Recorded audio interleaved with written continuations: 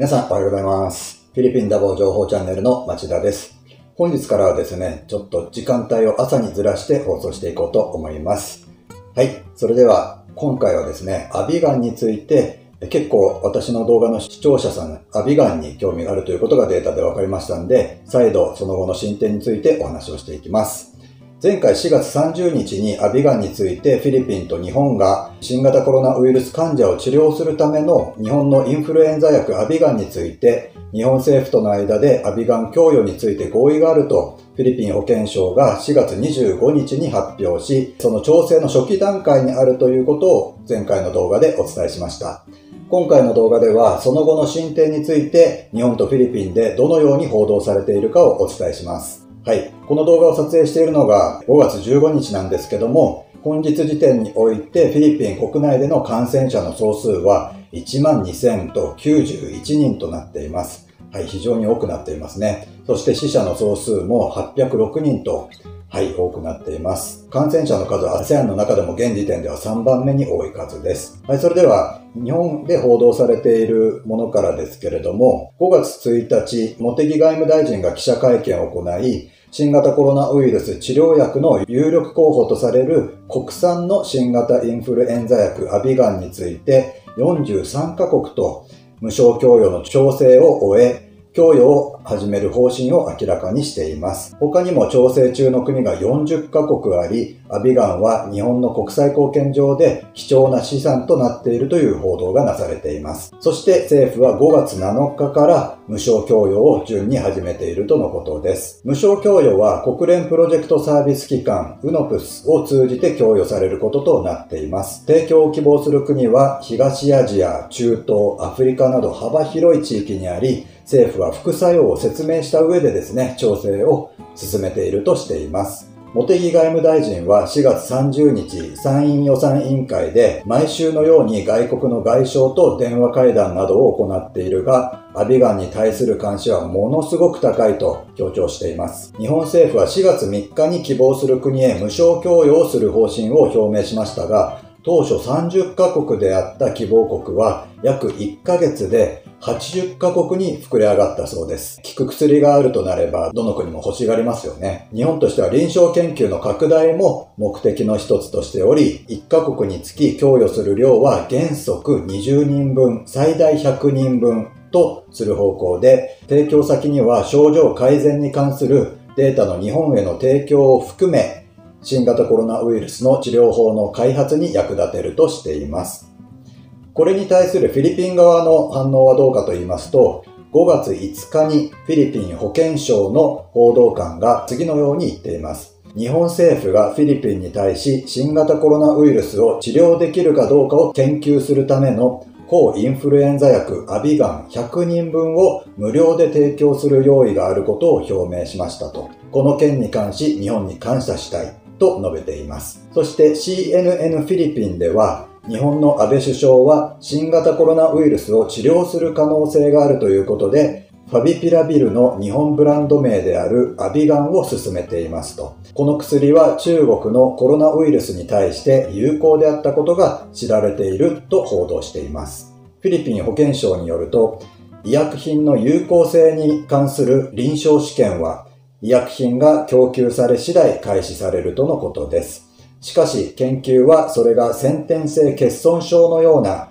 副作用を引き起こす可能性があるため、妊娠中の女性への使用は行わないようにとしています。さらに保健省報道官はこのように言っています。この医薬品の利点についてはまだ不明なため、臨床試験を行いますが、この機会を利用したいと思います。と発言しています。また保健省では5月5日の時点で、すでにどの病院が試験を実施するかについてのガイドラインを作成しており、この臨床試験に参加する病院を選択するとしています。そして選ばれた病院から患者をどのように選択するかについての方針を定めるとしています。患者の同意は臨床試験に際して必須であると保健省の報道官は強調しています。また CNN フィリピンの報道では臨床試験とは同じ症状を患っている患者に患者に対する薬物の効果を試験することを意味するとして、フィリピンとはこれとは別にですね、抗ウイルス薬レムデシビル、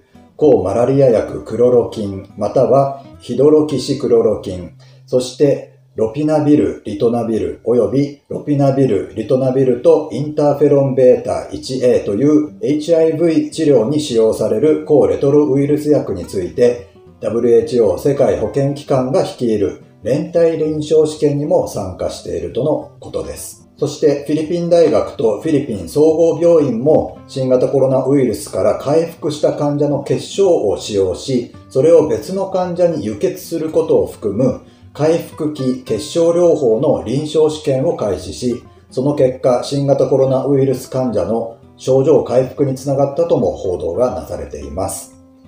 5月14日、アキリーノ・ピメンテル上院議員は、日本製抗ウイルス薬候補としてのアビガンのフィリピンでの臨床し臨床試験への支持を表明しました。すべての国の友になるというフィリピン、フィリピンの外交政策への発展寄与をする取り組みであると発言しています。上院外交委員会の委員長でもあるピメンテル氏なんですが、実は新型コロナウイルスに感染し、数週間治療してもう戻ってきてる人なんですよね。そのピメンテル氏は次のように発言しています。新型コロナウイルスの治療に非常に有望なアビガンの割り当てにフィリピンを含めてくれた友人の日本に感謝しますと。これは研究目的のためであることを理解しています。私たちフィリピン政府はより多くの薬を日本から要求し、それを服用することに同意した患者が利用できるようにするべきであると述べています。また、マニラブレティンという新聞では、アビガンについて次のように説明しています。